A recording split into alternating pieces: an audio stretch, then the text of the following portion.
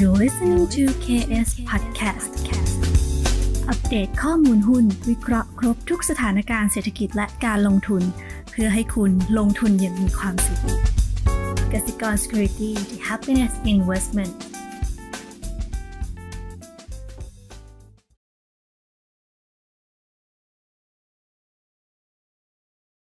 เคครับ เดี๋ยวมาพูดคุยกับทางไอซ์กันนะครับแล้วเดี๋ยวจะต่อไปที่ดีพิสุทธิ์เพราะว่ามันมีตัว NCAP ที่มาลิงก์กันนะครับก็ถือว่าเป็นอีกหนึ่งข่าวใหญ่นะครับ สวัสดีครับไอซ์ครับสวัสดีครับ พี่บอมสวัสดีครับนักลงทุนทุกท่านครับ ครับก็เดี๋ยวพี่ฉายภาพของทันอ่าของหนังสือพิมพ์ฐานเศรษฐกิจนะครับ ให้กับนักลงทุนก่อนนะครับ อันนี้ก็ผมอ่านตามข่าวไว้แล้วกันนะเนี่ยหาว่าผมแบบไอเห็นว่าอ่านตามเนื้อข่าวไว้กันนะครับว่า leasing กระอักนะครับสคบคุมสัญญาลด การเกษตรนะครับอะอยากให้ไอซ์อธิบายนิดนึงก่อนเอาเอาเอาข่าวลงก่อนว่าคืออะไรก่อนครับ โอเคก็จากข่าวนะครับ ก็โดยสรุปก็คือว่าทางสารเศรษฐกิจก็บอกว่าสคบนะครับเขากำลังทำ hearing หรือทำประชาพิจารณ์อยู่นะครับ ก็เริ่มตั้งแต่วันที่ 8 ตุลานะครับ จนถึงวันที่7พฤศจิกานะครับ เพื่อพิจารณาในในสามสี่ข้อด้วยกันนะครับ ข้อแรกเนี่ยที่เป็นตัวหลักก็คือว่าต้องการจะควบคุมตัวอัตราดอกเบี้ยนะครับ มีเพดานดอกเบี้ยนะครับ ของสินเชื่อเช่าซื้อสำหรับตัวที่เป็นรถยนต์นะครับ เป็นรถมอเตอร์ไซค์รถแทรกเตอร์แล้วก็เครื่องจักรที่ใช้ในการเกษตรนะครับ ผมคิดว่าความเข้าใจผมก็คือพวกรถที่ใช้ในการแบบเก็บเกี่ยวอะไรพวกนี้นะครับ พวกพืชผลทางการเกษตร ตรงนี้ให้ไม่เกิน 15%นะครับ สำหรับทุกโปรดักต์เลยนะครับ อันนี้อันนี้ตัวใหญ่อันแรกนะครับ อันที่2เนี่ยเป็นเรื่องหลักการนะครับ อันที่ 2 ก็จะเป็นเรื่องการคืนรถจบหนี้นะครับเข้าใจว่าคงเห็นของที่แบบที่ทิสโก้ทำนะครับ ที่ว่าให้ผ่อนไม่ไหวเอารถมาคืน แล้วก็หมดหนี้กันไปนะครับ อันนี้เนี่ยจะจะบรรจุเข้ามานะครับ เป็นเป็นเป็นครอสหนึ่งนะครับ ว่าลูกหนี้เนี่ยสามารถเอารถไปคืนให้กับไฟแนนซ์ได้นะครับ ถ้าสมมุติ ผ่อนไม่ไหวหรือไงก็แล้วแต่แล้วถ้ามันมีส่วนต่างเนี่ยสมมุติว่านี่มีหนี้อยู่แสนหนึ่งลดขายไปแล้วได้แปดหมื่นสองหมื่นที่เหลือเนี่ยห้ามห้ามติดตามต่อหมายถึงว่าห้ามเจ้าหนี้ติดตามต่อนะครับก็คือลดเราต้องจบกันไปนะครับ นี่คือข้อที่2นะครับเป็น 2 ประเด็นแรกที่ผมคิดว่ามีนัยยะนะครับ อีก 3 ประเด็นที่เหลือเนี่ยเป็นเรื่องเป็นเรื่องรายรายละเอียดแล้วเช่นว่าถ้าปิดวงเงินก่อนกำหนดจะต้องเวฟดอกเบี้ยในอนาคต ให้เขา80%นะครับนี่ผมว่าไม่ได้ไม่ได้มีประเด็นอะไร แล้วก็อันที่สี่ก็คือถ้าสมมุติว่ารถยึดมาแล้ว มันจะมีช่วงเวลาถ่ายถอนคืนอยู่นะครับ แต่เดิมอาจจะให้แค่ผู้กู้เป็นคนมาถ่ายถอนอันนี้ สามารถโอนสิทธิ์ให้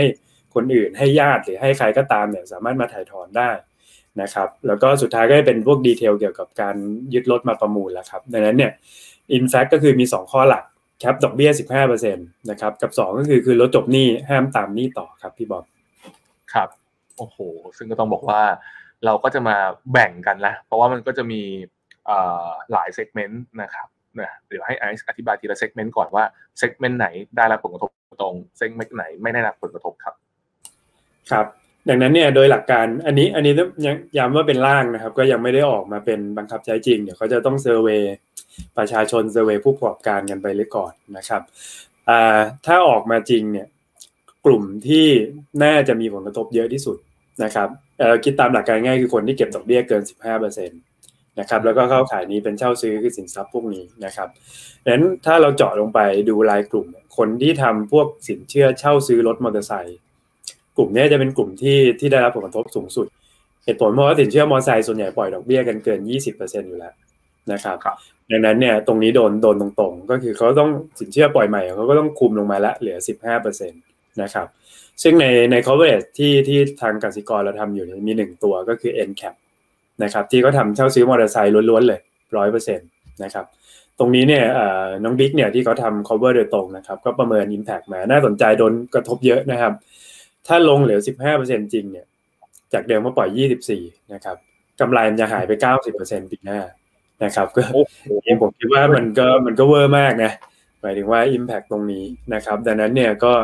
ต้องดูว่าว่าเป็นยังไงนะครับตัวที่2นะครับก็คือกลุ่มที่ทำพวกเช่าซื้อนะครับแล้วเก็บดอกเบี้ยแพงหน่อยนะครับก็จะมีอย่างเช่นอามานะที่เรา cover อยู่นะครับเพราะว่าอามันนั้นเนี่ยเขาทำจำนำทะเบียนก็จริงแต่ว่าเขาเป็นลักษณะโอนเล่มพอโอนเล่มเนี่ยชื่อมันก็เลยไปลงในสัญญาเช่าซื้อนะครับดังนั้นตรงนี้มีผลกระทบเหมือนกันนะครับเกือบทั้งหมดของพอร์ตของเขา ดังนั้นตรงนี้ก็ มีผลกระทบเยอะนะครับอย่างมีนัยยะสำคัญอีกตัวหนึ่งนะครับดังนั้นตัวที่เป็นเป้าที่เรา cover อยู่เนี่ยคนที่ทำเช่าซื้อรถจักรยานยนต์นะครับทั้งที่เรา cover และที่เราไม่ได้ cover นะครับแล้วก็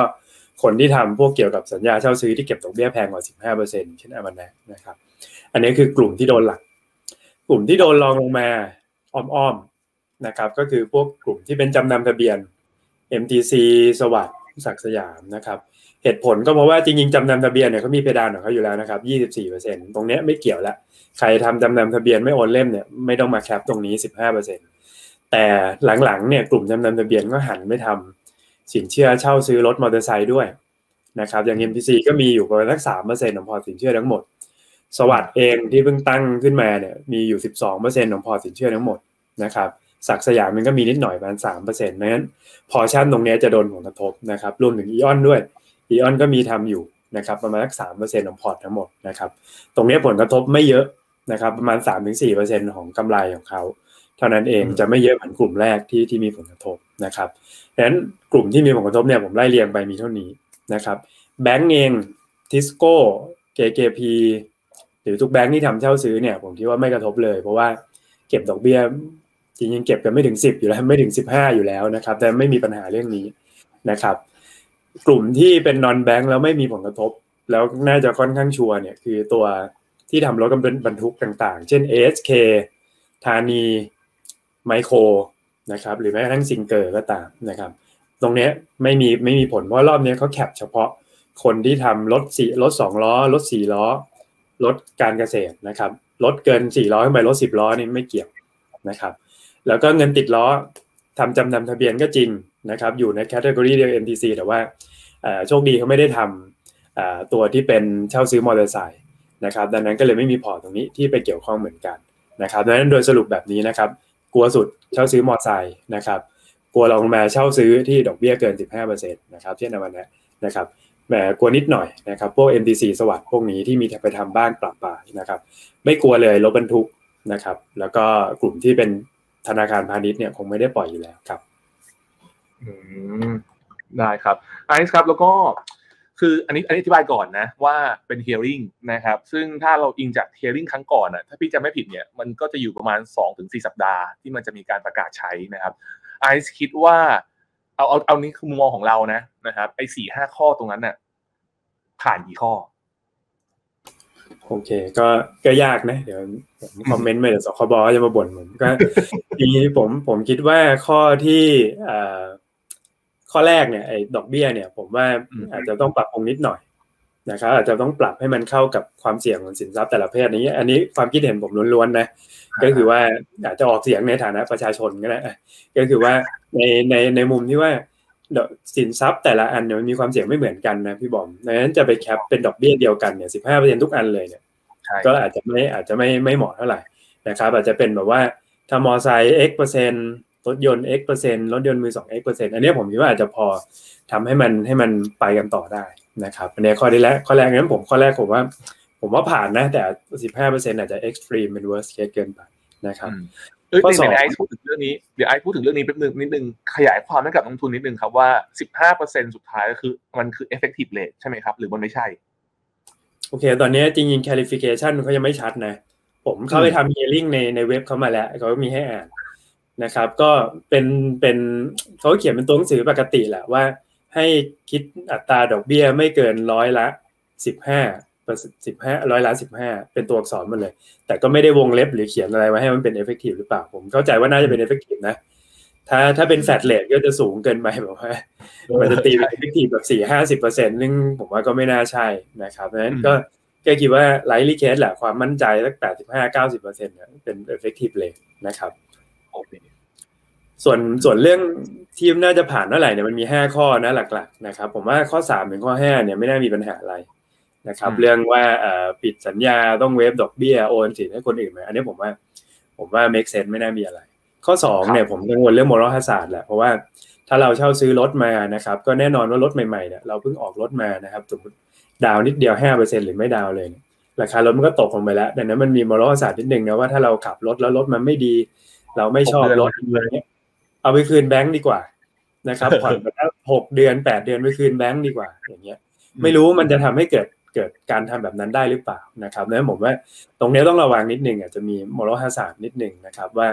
อาจจะต้องมี condition เพิ่มหรือว่าข่าวที่ออกมาจะยังไม่ได้มี detail ตรงนี้สคบก็อาจจะคิดไว้แล้วแหละนะครับ แล้วก็ก็มี detail ตรงนี้อยู่แล้วนะครับ ต้องรอดู detail นี้นิดนึงแต่ถ้าออกมาห้วนๆแบบนี้ผมคิดว่ามันมันก็ยากในทางปฏิบัติเหมือนกันนะครับดังนั้นเนี่ยสามในห้าว่าค่อนข้างโอเค นะครับ ข้อหนึ่งข้อสองมันปรับนิดหน่อยนะครับโอเคครับอะมาถึงคำถามสุดท้ายครับ เราจะเอายังไงกับกลุ่มนอนแบงค์นี่ครับ เจอกับหลายหลายปัจจัยที่แบงค์มันก็เริ่มมีสัญญาณเชิงบวกขึ้นมานอนแบงค์มันก็เริ่มแบบยังไม่มีบวกเลยมีแต่ลบลบลบนะครับ ก็ต้องบอกว่า ถ้าเป็นในฝั่งของกลยุทธ์เนี่ยนะครับอย่างที่ฝั่งเราได้มีการเกินไปในช่วงประมาณปลายไตรมาสสามต้นไตรมาสสี่นะครับว่าจริงๆ ตอนนี้ valuation มันถูก shift มานะครับออกจาก non bank มาแบงค์พอสมควรนะครับแล้วก็มีหนำซ้ำเจอกับ policy risk อีกนะครับซึ่งในฝั่งของแบงก์เองเนี่ยอาจจะไม่ได้มี policy risk มากกว่า non bank ไปมากกว่านี้แล้วเพราะว่าแบงก์เนี่ยเจอมาก่อนแล้วในช่วง2-3ปีที่ผ่านมานะครับไอซ์มองยังไงนะครับเราไม่ต้องพูดถึงแบงก์ละแบงก์เราก็มีมองเชิงบวกของมันอยู่แล้วนะครับเอา non bank บ้างเจอกับอย่างนี้เนี่ยสอกเสียงแตกไหม เสียงแตกแรกคือเอาแล้วเจอสุดท้ายแล้วไม่มี policy risk ไปมากกว่านี้แล้วซื้อเลย วันนี้ลงมาซื้อเลย กับอีกอันหนึ่งคือ เลือกตัวซื้อไหมหรือว่าแบบไม่เอาทั้งกลุ่มเลยยังไงผมว่าซื้อได้บางตัวนะ เพราะว่าเอ่อมันก็มีบางตัวที่ที่ดูไม่มี policy risk แล้วจริง ๆ แหละ แล้วก็ไม่ได้ไม่ได้โดนจากประเด็นนี้นะครับ ผมผมคิดอย่างนี้ก็คือว่าเอ่ออมานะหรือว่า เอ็นแคปเนี่ยที่ที่มันมีผลกระทบเยอะๆเนี่ยแล้วเราก็ไม่รู้ว่ามันจะคุมเท่าไหร่ ตรงนี้ผมคิดว่าสวิชดีกว่านะครับอาจจะมาสวิชมาเล่นตัวที่มันไม่โดนนะครับอย่างอย่างผม list อย่างที่ผม list ไว้เนี่ยคือตัวที่ไม่โดนนั่นคือพวกกลุ่มรถบรรทุกเนี่ย SK Micro อ่าซิงเกอร์เนี่ยที่เรายังมีมุมมองเชิงบวกนะเราคิดว่าเขาเติบโตได้ แล้วก็ไม่ได้โดนคุมเรื่องนี้เนี่ยผมคิดว่ามันก็ยังเป็นหลุมหลบภัยนะ ในในใน segment ไฟแนนซ์ที่ยังเข้ามาได้นะครับแล้วก็ไม่รู้วันนี้จะโดนเหมาเข่งขายกันหมดหรือเปล่านะคือถ้ากลุ่มนี้โดนเหมาเข่งขายได้ยิ่งน่าซื้อไปกันใหญ่เพราะมันไม่ใช่นะครับหรือว่าจำนำทะเบียนเนี่ยถ้าอยากอยากได้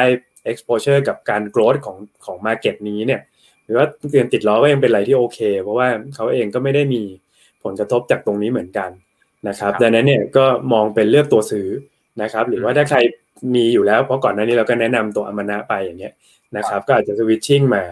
นะครับมาที่กลุ่มที่ผมคิดว่าปลอดภัยก่อนดีกว่า แล้วเดี๋ยวเรารอดูความชัดเจนในช่วงต้นเดือนหน้านะครับ ถ้ามันออกมาสมมุติแคปดอกเบี้ยสามสิบเปอร์เซ็นต์นี้สบายใจตอนนั้นเราค่อยไปซื้อกลับก็ยังได้นะครับ อืม นะครับซึ่งจริงๆ อันนี้ก็ผมฉายในภาพใหญ่ล้วกันนะครับ เราจะเห็นได้เลยว่าจริงๆ แล้วไม่ใช่แค่แบงก์ชาติบ้านเรานะครับ จริงๆ ตอนนี้หลายๆประเทศนะครับที่เขาพยายามจะมากระตุ้นเศรษฐกิจนะครับ แล้วก็อาจจะมีการเพิ่มกำลังซื้อลดการใช้จ่ายจริงๆ เนี่ยมันไม่ได้ออกมาเพียงแค่นโยบายผ่านทางนโยบายของแบงก์ชาตินะครับ มันก็จะมีหลายๆนโยบายแบบนี้ที่ปัจจุบันตอนนี้ทางรัฐบาลกับแบงก์ชาติเขามีการจับมือกันแล้วร่วมทำกันนะครับ ซึ่งอันนี้ก็จะเป็นหนึ่งในวิธีนะซึ่งถามผมผมก็คิดว่า ถามผมนะส่วนตัวนะ ผมมองว่ามันมันยังไม่จบหรอกนะครับ แต่ว่ามันก็แค่ว่ามันจะไปโดน segment ไหน sector ไหนเท่านั้นเองนะครับเพราะฉะนั้นเนี่ยใครเล่นกลุ่มนี้ก็ต้องระมัดระวังเราต้องยอมรับว่ามันก็อาจจะต้องมี bear in mind ว่ามันจะมีความเสี่ยงประเภทนี้เกิดขึ้นอีกนะเพราะว่าแบงก์ชาติเขาคงจะไม่ได้มาเพิ่มดอกเบี้ยหรือลดดอกเบี้ย แต่มันจะมาเป็นวิธีนี้แหละนะครับผ่านทาง real sector จริงๆนะครับซึ่งจริงๆ เวลาเราฟัง minute ของ แบงค์ชาติแต่ละครั้งที่เขาพูดเนี่ยมันเขาจะพูดเรื่องนี้ถี่มากเลยในช่วง3ถึง6เดือนที่ผ่านมาว่าเดี๋ยวมันจะมีมาตรการอื่นๆ ในการมาช่วยแทนที่จะไปพิมพ์เงินอย่างเดียวไอ้แทนที่จะไปอัดเงินเข้าในมอมมาตราอื่นๆ ก็จะมีเรื่องพวกนี้เข้ามาด้วยนะครับประมาณนี้ วันนี้ขอบคุณทางไอซ์มากครับ ครับ สวัสดีครับ